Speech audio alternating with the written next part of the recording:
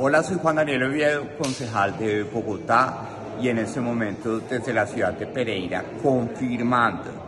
mi convicción de que el rol del sector privado en la provisión de infraestructura pública, de transporte y conectividad es fundamental en un país como Colombia.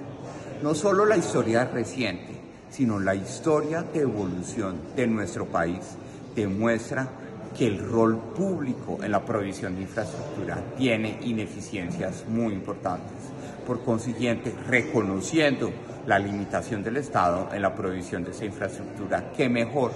que trabajar coordinadamente con el sector privado para proveer infraestructura pertinente,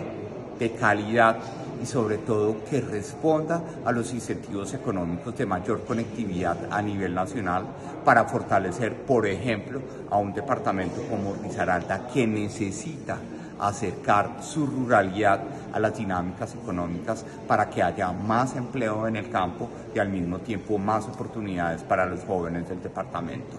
Esto en este momento está siendo sujeto de estigmatización. Se está hablando que las concesiones privadas son una fuente de enriquecimiento de unos grupos económicos del país. Se está hablando que las concesiones privadas de infraestructura no son buenas para los agricultores del país porque traen la mercancía importada a Colombia elementos que son absolutamente falsos, porque qué mejor que la conversación entre el sector privado y el sector público que se genera en las diferentes generaciones de concesiones que se han plantado en el país para que la infraestructura no solo sea buena,